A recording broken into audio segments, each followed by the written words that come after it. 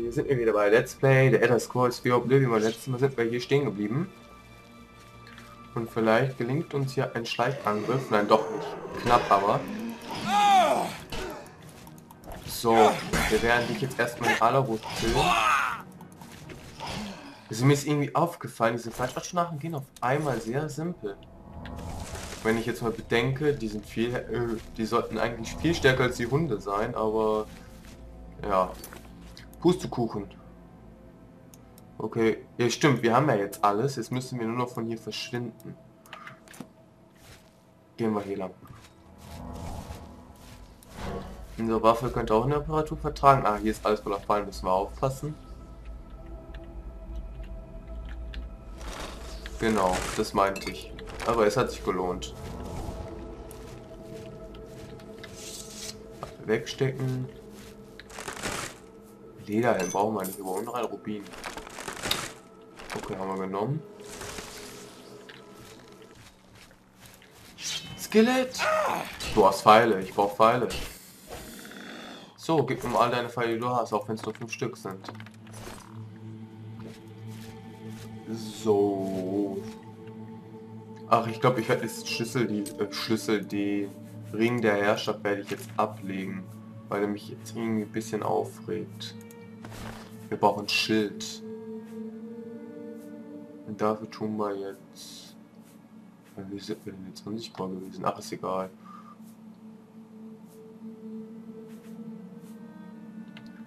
So, jetzt sind wir wieder sichtbar. Way. Ähm, ich habe immer noch keine Ahnung, wo wir lang rennen müssen. Aber ich schätze mal, wir rennen jetzt hier einfach mal hier runter. Ja, sieht gut aus. Hier kommen wir her.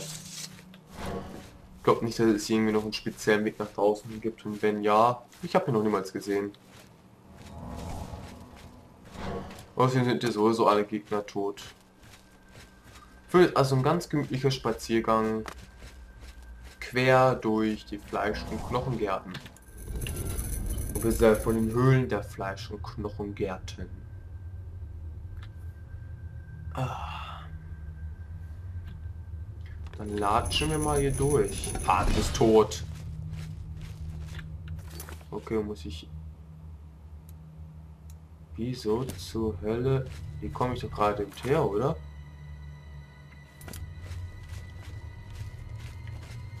Hä? Das verstehe ich jetzt nicht. Zeigt unsere Kompassnadel hin. Besser gesagt unsere Quest. Wahrscheinlich heißt hier irgendwo... Ach, ich glaube, ich weiß, wo wir lang müssen. Ah. Oh, scheiße, ey. Ah.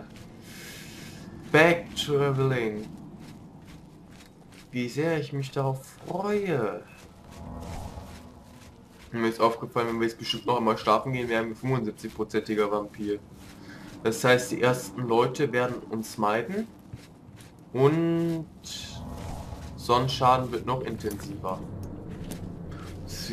Ja, es wird nur intensiver. Das wird noch schlimmer, als wir gerade eben gehabt haben. Und zwar um einiges schlimmer. Wenn man 100% Vampir ist, dann ist es echt kein... Ja. Hey, ich glaube hier doch einen speziellen Ausgang. Was? Äh, äh das... Äh, äh?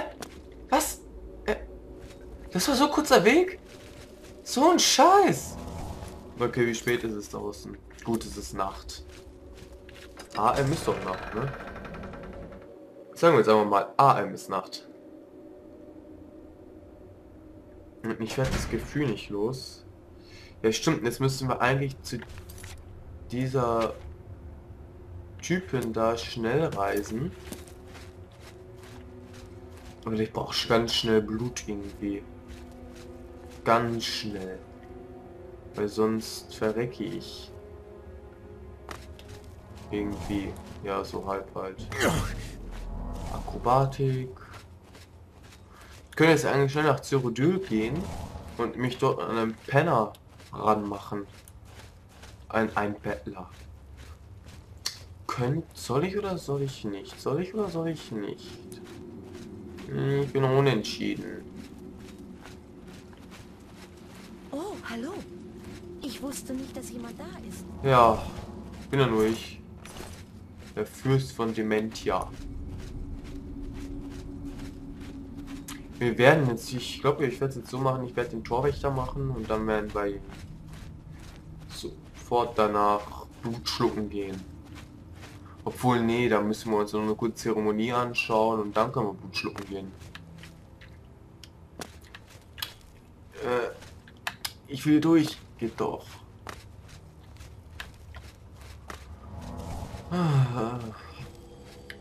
Das ist das Nachteil am Vampirleben. Man kriegt wohl Stärke dazu, aber man muss regelmäßig Blut sagen, wenn man es einmal nicht macht, das rächt sich sofort. Und man sieht das jetzt hier gerade an, an dem Beispiel sehr gut. Ach ja, Tore des Wahnsinns. Wo müssen wir hin? Wir müssen aber nur geradeaus. Einfach nur geradeaus gehen. Geradeaus, geradeaus, geradeaus. Geradeaus, geradeaus. Geht einfach stumpf geradeaus. Wir werden hier durch Stock und Stein gehen. Um einfach unser Ziel zu erreichen. Geht doch. Roter Seetang. Ach du Scheiße, ist doch noch ein längerer Weg.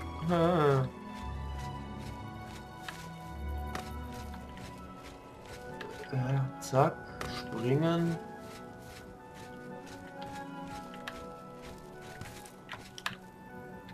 Äh, geh darauf. Okay, er mag mich. Das heißt, wir werden ihn dazu zwingen, dass er das macht, was wir wollen. Indem wir einfach außen rumgehen.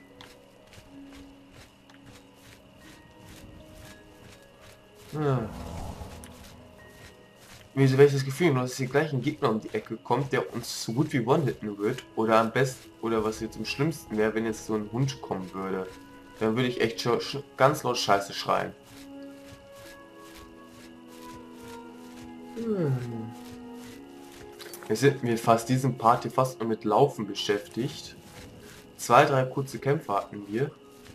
Ich bin begeistert, ey das, ich glaube, mich, diese Emotion ist mir echt die Stimme so richtig so reingebläut. Boah. Es waren jetzt höchstens zwei Meter, die er gefallen ist und er kriegt sofort. Oh. Ey, ich verstehe den Typen einfach nicht. Der soll sich nicht so anstellen. Damals, als ich acht gewesen bin oder so, bin ich vom Baum gesprungen. Das hat mir nichts ausgemacht. Das war mindestens drei, vier Meter oder irgendwie sowas. Ach, keine Ahnung. Und der jammert jetzt wegen zwei Meter rum da. Ey, Memme. Das mehr sage ich nicht dazu, du Pussy. Ah, da vorne ist sie ja schon. Ihr seid mit allen Bestandteilen zurückgekehrt?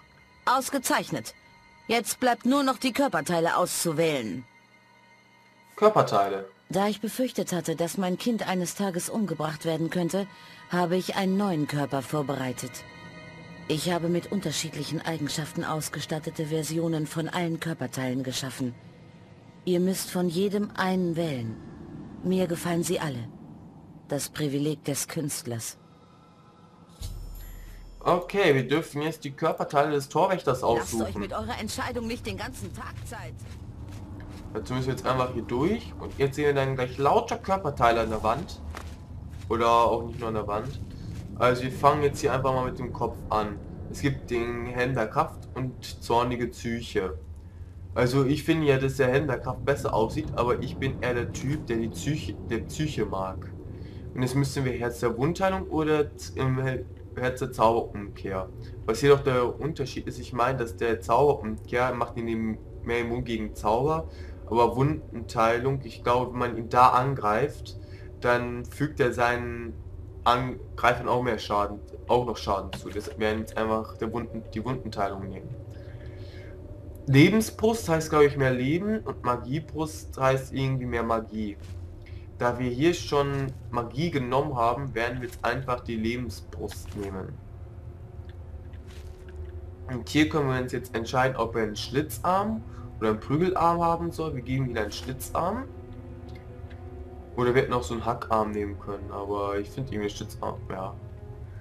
Ein Frostschild oder Feuer. Jetzt können wir noch so verschiedene Schilder aussehen, aber ich bin ja eher so der Typ von Feuermagie, deshalb geben wir das Feuerschild. Und jetzt müssen wir uns aussehen, ob er Kraft haben soll oder ob er schnell sein soll. Halt in den Beinen. Aber wir nehmen jetzt einfach mal die Flinkheitsbeine. So, jetzt haben wir alle Körperteile des Torwächters bei uns und wie wir sehen, wir laufen noch ganz normal weiter. Okay, Bitchy Bitchy, da bist du ja. Ich habe hier was für dich. Ihr habt eure Auswahl getroffen. Jetzt begeben wir uns zur Statue unseres Fürsten im Randland. Dort werden wir die Zeremonie vollziehen. Beeilt euch. So, ich werde das jetzt so machen. Ich werde diese Zeremonie, sage ich, ich werde jetzt den, sage ich jetzt mal, Pause machen. Ich werde schnell Blutsaugen gehen hier. Und dann ähm, werde ich zur Zeremonie gehen. Das heißt, wir sehen uns dann bei der Zeremonie wieder. Bis gleich. So, hier sind wir wieder. Ja, ähm, ging doch relativ schnell. Und da kommt die Kuh auch schon wieder. Jetzt warten wir hier, dann kommen jetzt so eine coole Zeremonie. So, reden Wollen wir mit, wir mit der Zeremonie... Gut, lass uns anfangen. Legt zuerst den Körper des Torwächters in... Okay, das ist jetzt dieser komische Tank. Und dann gehen wir jetzt die zornige Psyche rein und so. Ja. Feuer, Wasser, Erde, Luft und Licht. Die Dunkelheit wurde zum Tag und die Leere nahm Form an. Aufgrund der eigenen Selbsterkenntnis war das Sechste verborgen, das in sich die fünf vereinigte, die es gebaren. Ja, ja. Das Fleisch. Fleisch mit dem Verlangen, wie das Feuer zu verzehren. Legt die Dermismembran in den Tank. Okay. Blut, flüssiger Nährstoff. Ozean, der die Perlen des Lebens an die Küsten der Existenz spült. Legt den Blutlikör in den Tank der Substanzierung. Juhu. Knochen, Geäst und Stein des Körpers, der Gestalt und Form verleiht. Legt das Knochenmark in den Tank. Ja, tun wir einfach mal. Kind der Luft, der Bewegung schenkt und den Geist erweckt. Legt die Essenz des Atems so. im Tank der Substanzierung. Uh. Und zuletzt das Licht des Fleisches, die Erleuchtung der Seele, Wahrnehmung, Denken, Erinnerung, Fantasie. Nett ich beschwöre dich, fleischgewordener Wanderer, Fleisch des wahren Fleisches, von den Oblivions, die deinesgleichen hervorbringen. Komm zu diesem Altar, verbinde dich mit diesem Körper. Möge sich die Quintessenz des Fleisches mit der Essenz des Fleisches verbinden, das Reine und das Sterbliche, unsterblich verbunden. Tretet vom Tank zurück, kommt her zu mir. Okay, ich stehe bei Ihnen. So. Was jetzt auch immer passiert. Fürchte nicht die Erniedrigung. Du sollst in diesen Tempeln das Heiligtum sein. Ich binde dich, Atronak, an diesen... Oh! Als künftiger Torwächter der Shivering Isles. Was zur Hölle? Mein Kind, es wird Zeit, dein Schicksal zu erfüllen. Beschütze dieses Land gegen alle Einzelnen, die das Zeichen von Sheogorats Gunst nicht tragen. Du wirst sie an der Kälte ihrer Gedanken und der Dunkelheit ihres Geistes erkennen. Was ist das? Mein Kind, sie kommen. Vernichte sie. Zeig ihnen deine wahre Macht. So, wir haben den Torwächter gemacht. Oder lauf zu Sheogorat. So oder so. Erzählt ihm von unserem Tun hier. Richtet ihm meine Ehrerbietung aus. Und meine Zuneigung. So, und wenn wir jetzt den Torwächter anreden, bekommen wir verschiedene Zauber. Jetzt haben wir zum Beispiel zornige Psyche, jetzt haben wir keine zornige Psyche mehr, jetzt haben wir bei der Unteilung. Und jetzt, wir schauen noch mal kurz zu, weil der, ich werde den Part sowieso gleich beenden.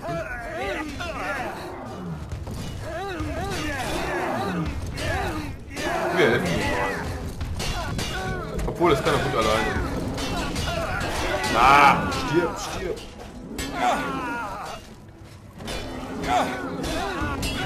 Obwohl, die haben noch ja, jetzt haben die schon bessere Schwerter. Das werden wir natürlich jetzt auch mal gleich ausnutzen. So. Die sind immer noch zu schwer belastet. Was zur Hölle? Ja, ganz toll. Ich wollte gerade sagen, gebundene Rüstung weg. Hätte uns wahrscheinlich auch so viel leichter gemacht. Ähm, ja, ich beende jetzt auch gleich den Part. So. Und somit hat der Torwächter sie alle abgeschlachtet. Ganz braves Viech. Ist auch meine Kreation.